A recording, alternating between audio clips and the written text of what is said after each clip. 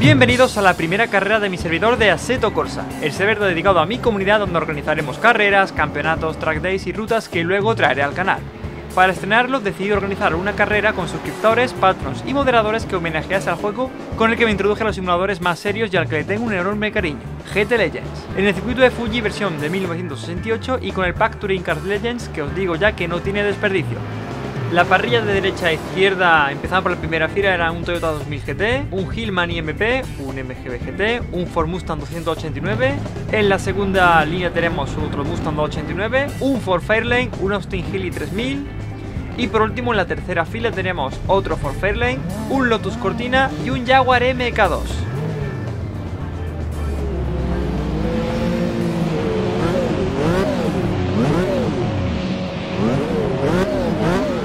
Recordaros que tuvimos muy poco tiempo para entrenar, simplemente elegimos los coches y el circuito y nos pusimos al lío, así que a primera vuelta será un poco de calentamiento, en una carrera de cuatro vueltas. No tenemos tampoco ninguna intención de competir seriamente, estamos simplemente por echar un buen rato para probar el servidor, de que fuese todo bien. Yo me he elegido el Toyota 2000 GT, como os he comentado antes, y aunque era un coche muy bueno a nivel general, era un coche muy, muy bien equilibrado, me encanta este coche, ya lo sabéis, había coches que le superaban en aceleración, por ejemplo los Ford Fairlane, los Muscle Cars, incluso el Hillman de delante tiene una salida mejor que la mía. Luego es verdad que se viene abajo, como podéis ver, pero, pero sería más fuerte que yo. También tenemos un Lotus Cortina que estaba muy, muy equilibrado también, muy parecido al mío, o el, o el MGA que tenéis también delante, en color rojo. Luego de Muscle había dos Ford Fairlane, como os he comentado, y un Ford Mustang también que todavía no ha aparecido. En algún momento de la carrera aparecerá. El circuito es el de Fuji 68, es un circuito que a mí personalmente me gusta mucho, sinceramente me gusta mucho porque es un circuito muy rápido, de hecho es demasiado rápido para estos coches, todo se ha dicho, pero eh, tiene trampa, tiene trampa porque es un circuito con, con un firme muy regular, tiene muchos baches y alguna que otra curva ciega y traicionera, especialmente para los coches grandes como por ejemplo el Fire Firelane que tenemos aquí a la, a la izquierda e incluso para los coches que tienen suspensión blanda como por ejemplo el mío y tracción trasera, que eran todos de hecho. Vemos que el MGA se coloca primero con, con bastante holgura. Ese MGB en realidad es un coupé que no es fácil de llevar, pero cuando se le coge el tranquillo te lo recompensa. Fijaos, tiene un buen paso por curva. El 2000 GT es un coche más permisivo, es un coche que permite más errores, pero no se recupera tan bien como otros. Desde luego, los ejemplos de coches ágiles serán el, el MGA y el Austin Healey que están atrás en este pack de Touring Cars de los 60 y 70. Es un pack muy guapo, está equilibrado, pero hay alguno que se nota que es algo más OP respecto a los demás. El Toyota 2000 GT, de hecho, es de los que rozan lo OP, pero no es tan OP como otros coches, como por ejemplo el Mustang. Las cosas que estamos teniendo en la primera vuelta, yo me he colocado segundo y el MG no se ha alejado demasiado. En esta zona, con muchos baches, decidimos aflojar un pelín para ya entrar en la última curva del circuito de Fuji. Cambia mucho respecto a la versión que conocéis todos de, por ejemplo, de Gran Turismo.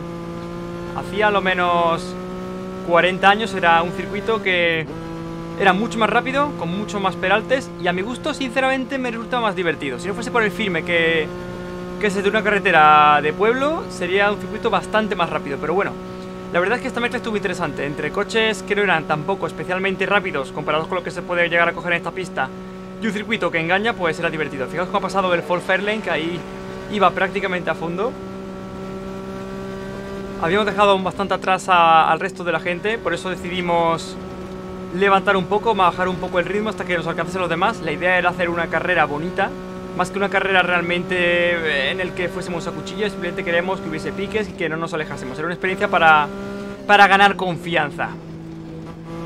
También tenéis en cuenta lo que os digo, estas curvas que acabar el peralte, el sobreviraje es bastante es bastante fácil, se me ha pegado mucho al lado un Austin Healey.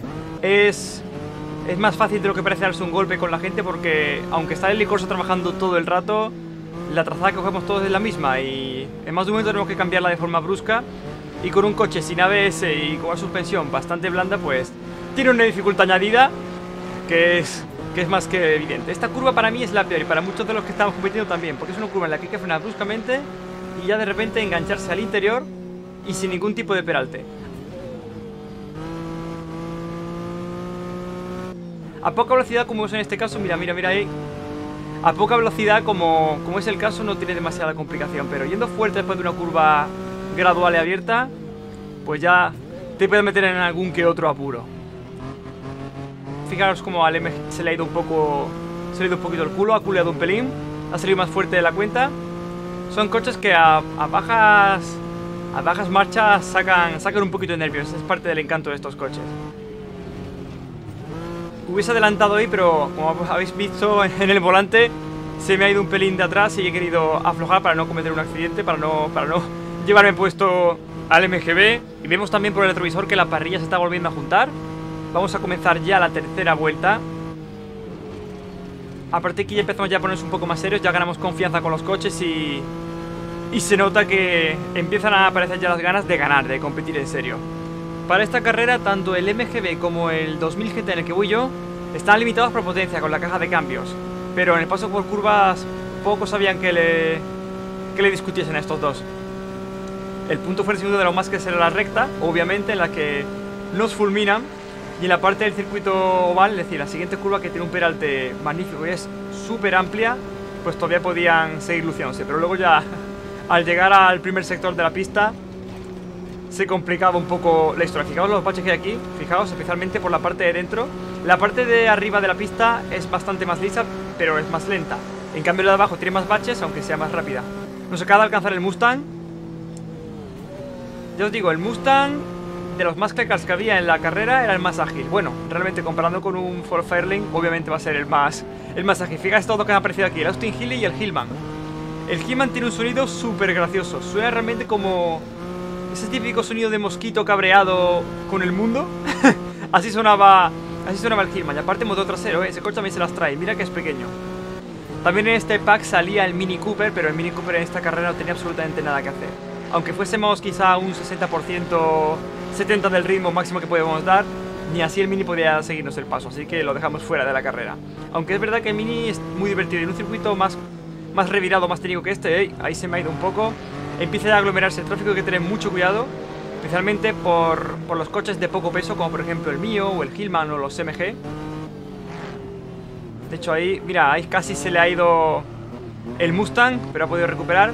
Menos mal que no llegó a chocar contra el Hillman, porque si no se lo lleva puesto, pero sin duda, vamos. Vamos ahora mismo cuartos, empezamos ahora a apretar el ritmo, ahora empieza la parte interesante de la carrera de verdad. Veo ahora mismo pique entre el Mustang y el Hillman, se va el Hillman, hostia, no, no, no, no bueno, por suerte solamente ha sido un toque contra el paragolpes, seguimos vivos, aunque me ha adelantado el Cortina, ha aprovechado el, el, haberme yo llevado puesto al Hillman. Alguien tiene que haberse puesto al Hillman, era muy pequeño, es un coche muy cabrón, tiene que pasar. No hemos dicho nada del Jaguar que tenemos justo detrás, también tenemos un Jaguar, pero es un coche en esta pista muy barco, bueno, en esta y en cualquiera, así que el pobre se quedó todo el rato en la red de guardia, pero bueno, simplemente por mencionarlo, por, por agradecer el esfuerzo. Tenemos pique interesante contra el Lotus Cortina. Ahora sí que queremos ir a ganar en la última vuelta. En velocidad parece que puedo al Lotus Cortina con el 2000 GT También es verdad que al rebufo tengo más ventaja. Por ahí aparece el V8 del Fairlane pidiendo huecos sin necesidad de rebufo ni nada.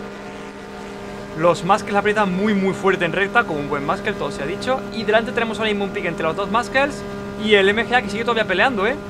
Va por arriba, yo me la juego por la parte más irregular Que es por abajo para intentar algo de distancia, parece que lo estoy consiguiendo.